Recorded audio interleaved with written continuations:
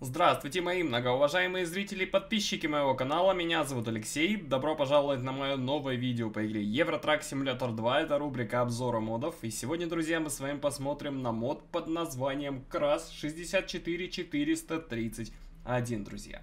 Это, опять же, достаточно уже известный, достаточно, можно сказать, олдовый мод, существует он какое-то продолжительное время, и до сих пор он работает, работает на версии 1.45, исправно работает, хочу сказать, никаких проблем э, с этой модификацией нет. Сочетает она в себе достаточно неплохое, э, скажем так, качество детализации самого мода. Он неплохо достаточно оптимизирован, то есть он приятен для игры и прям, прям красавчик. Это все-таки крас.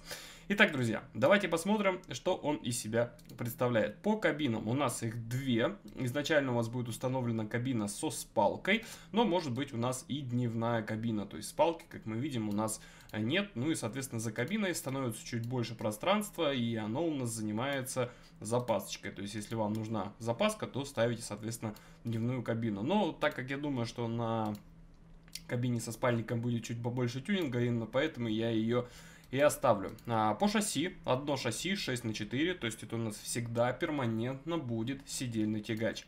По движкам, а, здесь у нас э, достаточно интересный набор двигателей, подписан он как Real Crass, то есть я подразумеваю под этим, что здесь скорее всего будут звуки реального кразовского движка. По лошадиным силам минималка 320, максималка 700 10. По коробкам, Крас OptiDriver. Не знаю, существовала ли когда-либо такая коробка или нет, но тем не менее, плюс ко всему здесь еще есть Элисон, ZF-ки. Но что-то мне подсказывает, что просто взяты обычные коробки, опять же, те же самые Элисон, ZF-ки, OptiDriver, и просто здесь дописано Крас. Вот и все.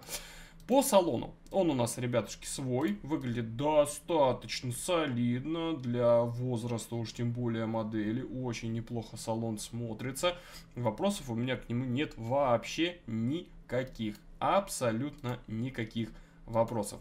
А, есть у нас стандартная приборная панель, приборная панель под дерево, вот такой элемент роскоши. Да, друзья, здесь у нас под дерево все разукрашивается. Но если вы любите, типа, как бы, типа, якобы американский, типа, кастом, да, то там есть тоже такой прикол, что э, красят вот эти вставки под цвет кузова. Давайте под дерево выберем, почему бы нет.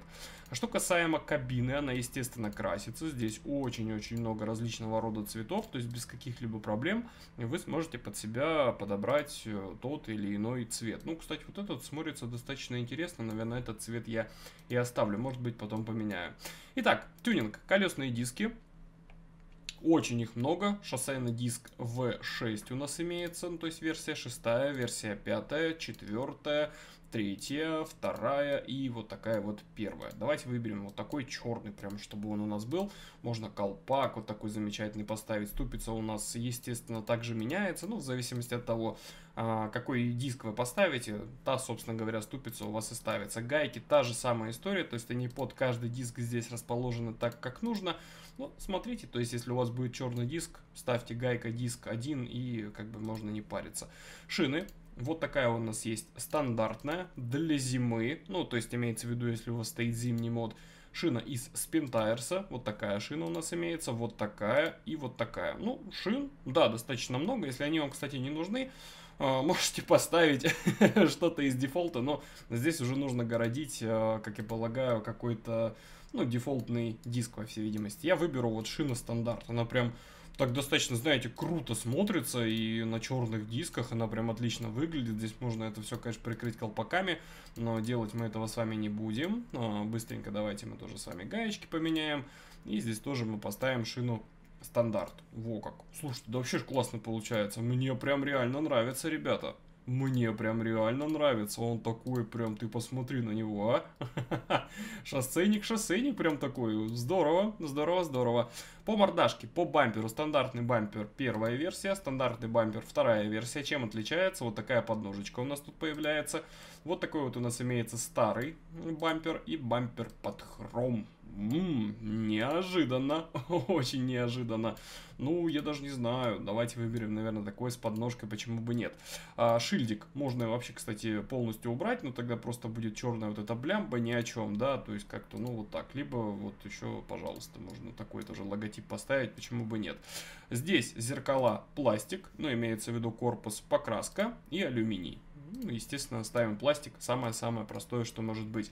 Компьютер бортовой стоит у нас здесь, но мы его сможем, если что, убрать. Э, в общем, это тюнинг салона у нас идет. Здесь огонечки, огни автопоезда. Вот такие вот могут быть, либо вот такие. Ну, давайте оставим вот такие, чтобы все было по канонам.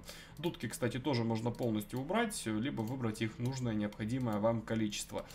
Мигалочки тоже можно убрать, почему бы нет. Здесь спойлер, обратите внимание, прям такой ой-ой-ой. Я его, наверное, и оставлю, с ним очень интересно смотрится. И, в принципе, все. По салонному тюнингу здесь у нас, ребята, можно поставить навигатор. Здесь тюнинг на лабаш. Сисал, естественно, поддерживается, как мы видим. Бортовой компьютер можно убрать, опять же, да, для того, чтобы как-то более-менее это все выглядело. Здесь у нас висячие предметы идут, э, тюнинг руля, обратите внимание. Вот такие вот интересные у нас идут рули, да еще и с оплетками, ну прям вообще. Но мне нравится, если честно, без оплеток, смотрится как-то интереснее. Но рули, как я понимаю, здесь э, с 250 вот этого старого краза, с крокодила, да, это хотя бы, ну, видно по превьюшкам, хоть бы заморочились новые превьюшки какие-то, что ли, ему сделали, и чтобы, ну, хоть как-то это более-менее хотя бы в этом плане соответствовало. Здесь тюнинг сидушки, сисал у нее, к сожалению, не поддерживается, что печально, и все, никакого тюнинга с палки, ничего здесь нет. То есть, что касаемо тюнинга именно салонного, Хотелось бы, конечно, чуть больше так называемого колхоза, потому что его явно не хватает для того, чтобы как-то более-менее эту кабину облагородить, одомашнить. Ну, в общем, вы меня поняли. Ладно, ребят, отправляемся на тест-драйв, посмотрим, как он смотрится с европейскими стандартными телегами и прокатимся, послушаем каразовские звуки. Погнали! Итак, классически мы с вами начинаем с ночных сцен. Ну, в общем-то, это уже классика на самом деле. И очень достаточно просто здесь проверять освещение. Подаем питание, загорается невероятное количество контрольных ламп у нас, загорелся сразу же навигатор, снаружи у нас машина никоим образом абсолютно себя не позиционирует, то есть вообще никак. Вот так вот у нас выглядят, ребята, габариты, то есть сразу у нас загораются основные фары, загораются огни автопоезда, и вот смотрите, какой косяк. То есть получается здесь э, флеера вот эти, да, они расставлены под 5 точек. То есть мы видим то, что у меня слева-справа по краям кабины этих маркеров нет, но свечение есть. И выглядит на самом деле так себе. Очень бы хотелось, чтобы это как-то исправилось э, теми людьми, которые за этим модом следят. Ну, ну, это реально не очень красиво. Как бы, да, под фотографию там можно как-то где-то что-то подстроить, но чуть выше, если захочешь сделать какой-то снимок, то вот эта порнуха, конечно, жестко бьет по глазам. В остальном же все достаточно неплохо, даже что-то типа света в кабине у нас э, включается. Ну, естественно, это никакой не свет в кабине, это так просто приколюха какая-то, вот и все. То есть ничего такого сверхъестественного. Белая подсветка приборов у нас, обратите внимание, вот так у нас выглядит ближний свет фары, индикация, обратите внимание, присутствует. И также у нас выглядит дальний свет фары. Индикация также присутствует на гитаре, анимация, пожалуйста, у нас дальнего света есть. Ближний у нас, как видите, включается через клавишу. Аварийка, пожалуйста, тоже сигнализируется, ручничочек. То есть все это здесь у нас работает без каких-либо проблем.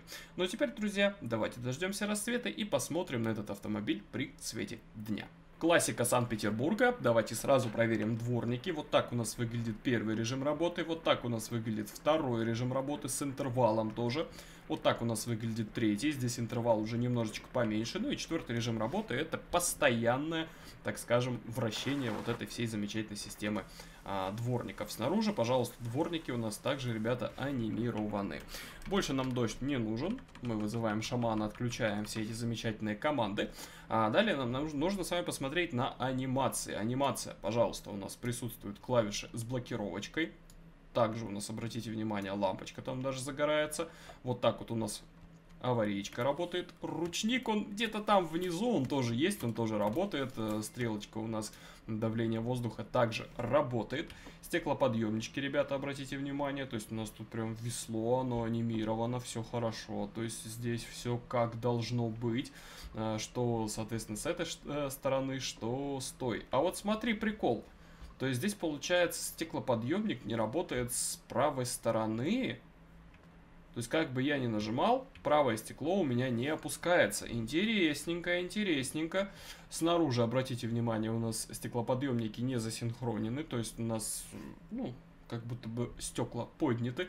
Нужно этот косяк исправлять. И есть такое ощущение, да даже не то, что это ощущение, вот оно прям видно, что стекла притонированные. А, я бы все-таки тоже от этой тонировки избавился, как бы, ну, снаружи-то ладно, более-менее там какие-то косяки, типа якобы салона скрыть за этим можно. Но когда ты смотришь э, изнутри, да, ну, не хотелось бы этой тонировки, как мне кажется, она немножечко здесь все-таки будет лишнее. Так, что нам еще остается? Нам еще остается проверить настроечки. Сидушечка у нас регулируется. Руль, обратите внимание, поддерживает регулировки. Это прикольно на самом-то деле. Настройка зеркал. Левое зеркало у нас работает. Малого левого у нас нет. Переднего зеркала у нас также нет. Боковое зеркало у нас работает. Ну и правое зеркало у нас, соответственно, также, пожалуйста, работает без проблем. Давайте мы запустим двигатель. Ну так, чуть-чуть буквально мы послушаем просто, как он звучит, для того, чтобы проверить пневмоподвеску. В нижнее положение встает, в транспортное встает, и можно максимально, пожалуйста, все это дело задрать. Провода у нас также там вот в этой всей куче каши-малаши подцепились, все нормально. То есть, в принципе, почему я сейчас, ребят, не проверяю то, как у нас идет э, сцепка э, с прицепами, да, вообще, почему это у нас из обзоров пропало. Потому что раньше как бы все косяки были в том, что по высоте э, некоторые грузовики не подходили под дефолтные прицепы. И, ну, в общем-то, это приходилось проверять, просто чтобы вы знали, да, либо можно будет зацепиться, либо все-таки через свободную камеру только телепортироваться, чтобы прицеп зацепился. Сейчас у нас есть пневмоподвеска, мы можем спокойно жопу опустить в максимально низкое положение, и какой бы там кривой коллизия ни была, мы в 99,9% случаев под прицеп заезжаем, и никаких проблем у нас, ребята, нет. Вот такая вот история. В общем, друзья, что хочу сказать. Э, нужно на этом моде, как мне лично кажется, чуть-чуть больше добавить колхоза в салон. Благо, в принципе, это делается достаточно легко. Просто необходимо на вот те места тюнинга, которые уже есть, просто прописать сисл, чтобы как-то, ну, более-менее было в салоне комфортно. И, опять же, из некритичных таких багов, это вот стеклоподъемники, заставить работать правый стеклоподъемник, может быть, я что-то не так делаю, он работает, ну, хотя все клавиши при вас нажимал, ничего не было. Ну и засинхронить, чтобы снаружи тоже стеклышки у нас опускались. А так, в остальном, достаточно неплохой мод, FPS вообще не жрет, крайне приятно выглядит, очень аутентичненько, я бы даже так сказал. И можно будет, я думаю, даже взять его в конвой, почему бы нет. Но, в любом случае, ребят, буду ждать вашего мнения в комментариях, ссылка на этот мод будет в описании, пожалуйста, кому нужно, качайте. Если есть у вас тоже какие-то замечания, либо предложения, оставляйте их в комментариях, мало ли автор этого мода это все увидит. Ну а пока будете листать в комментарии, по традиции, ребят, попрошу вас подписаться на канал, потому что больше 50% зрителей у нас эти видео смотрят без подписки, нужно это исправлять. Для вас это мелочь, для меня на самом деле очень и очень приятно. Все, друзья, спасибо вам всем большое за внимание, надеюсь на вашу поддержку. Дальше вас ждет классический, опять же, уже тест-драйв звуков, поэтому приятного вам прослушивания. Пока-пока и увидимся. Очень-очень скоро увидимся. Thank you.